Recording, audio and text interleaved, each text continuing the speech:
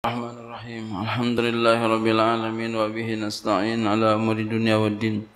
والصلاة والسلام على أشرف الأنبياء والمرسلين سيدنا وحبيبنا شفيئنا مولانا محمد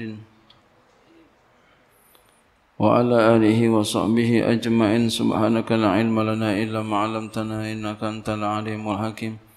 ولا حول ولا قوة إلا بالله العلي العظيم. أما بعد قال الشيخ الإمام الحافظ أبو عبد الله محمد بن إسماعيل بن إبراهيم بن مغيرة بن بردزبة الجوفي البخاري رحمه الله تعالى. باب رخصة في المطر والعلة أن يصلي في رحله. Ini bab rukhsah keringanan pada sebab hujan dan ilat bahwa ia salat di rumahnya. Jadi hujan bisa menjadi satu ilat untuk salat di rumah.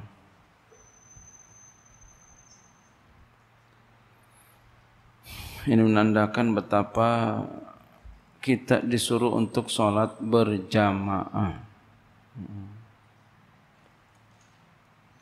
Wa bilai qala haddatsana Abdullah ibn Yusuf wa qala akhbarana Malik an Nafi an Ibn Umar azana bis salati fi lailatin zati bardin wa rihin dari Nafi bahwa Ibn Umar beliau azan dengan salat beliau azan untuk salat fi lailatin di satu malam zati bardin wa rihin yang dingin lagi berangin dingin suasananya lalu ada anginnya. Dingin di sana sama dingin di sini beda. Ya. Jazirah Arab sama di sini beda. Musim dingin di sini ya, di sini memang ada musim dingin ya biasa, biasa aja sangat jauh berbeda. Waktu lagi ya di saya ada di sana waktu itu. Itu sahabat saya sampai kakinya lagi musim dingin sampai keluar darah. Waktu lagi haji ketemu musim dingin itu kakinya sampai berdarah. Kita bisa bayangin dinginnya sampai itu kalau kaki sampai berdarah lantaran dingin itu. Beda sama di sini. Musim hujan di sini nggak sedingin di sana.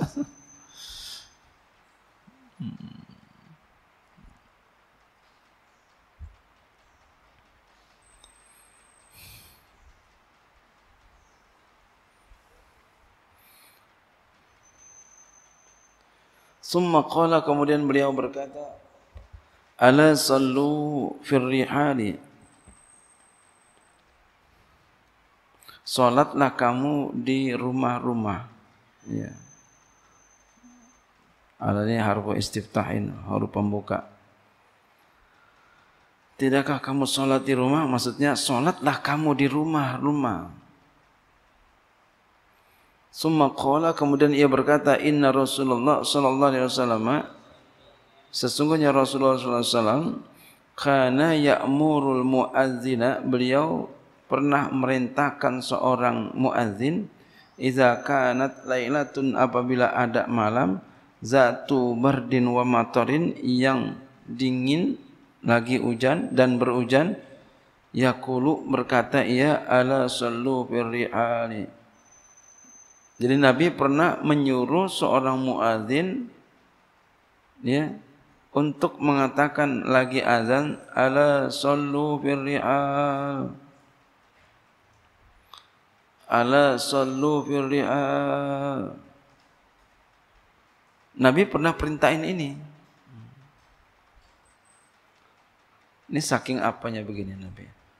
Saking sifat kasihanannya Nabi saking sifat kesianan Nabi. Hujan, ya, dingin, hujan sembahyang di rumah aja dah. Ini sifat sayangnya Nabi. Nah, ini juga satu dalil pula supaya kita jangan sampai enggak sholat berjamaah kalau dalam kondisi yang ya lapang normal. Wa bila qala hadatsana Ismail qala hadatsani Malik an Ibn Syihab an Muhammad bin Rabi' al-Ansari anna Itsban bin Malik kana ya ummu qaumahu wa huwa a'ma. Dari Muhammad bin Rabi' al-Ansari bahwa Itsban bin Malik adalah beliau mengimami kaumnya wa huwa a'ma. Dan beliau adalah orang yang buta wa annahu qala dan bahwasanya beliau berkata li Rasulullah kepada Rasulullah sallallahu alaihi wasallam ya Rasulullah wahai Rasulullah innaha takunu zulmatu wasailu. Sesungguhnya ada gelap dan ya sail. Sail ini ya, air bah ya. Atau juga ada yang mengatakan becek debel sail ya air. Oh ini gelap hujan gede ada air keras mengalir.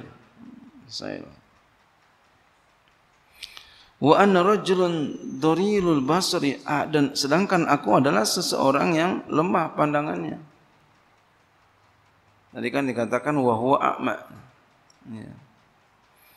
Fasalli ya rasulullah. Maka oleh karena itu salatlah engkau wahai rasulullah sallallahu alaihi wasallam fi baiti di rumahku. Makanan attakhidhuhu musalla. Ya supaya aku jadikan ya dia sebagai tempat solatku. Jadi sahabat Nabi minta beliau Itzban bin Malik minta Rasulullah sallallahu alaihi wasallam agar sholat di rumahnya nanti rumahnya ya ya pengen disolatin Rasul nanti tempat yang Rasul solatin pengen jadi jadiin tempat sholat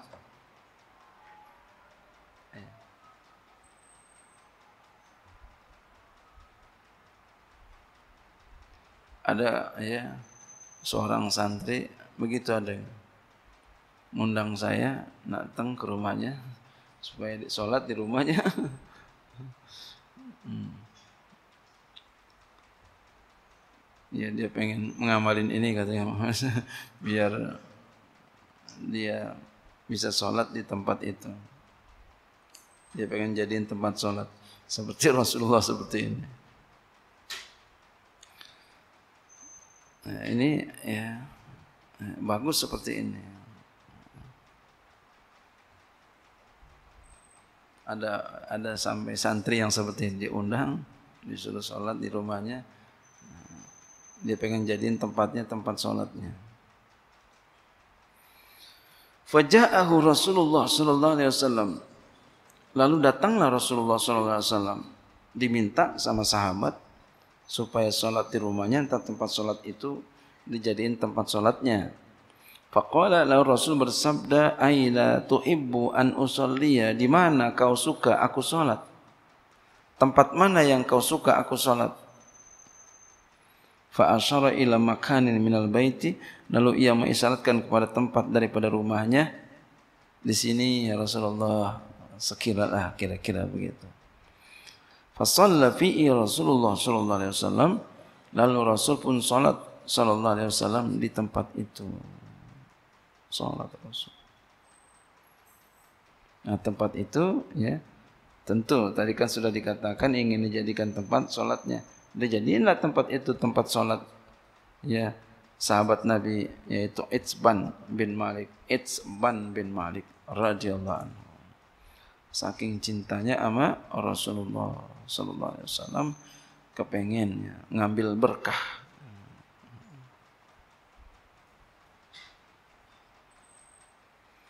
والله أعلم سواء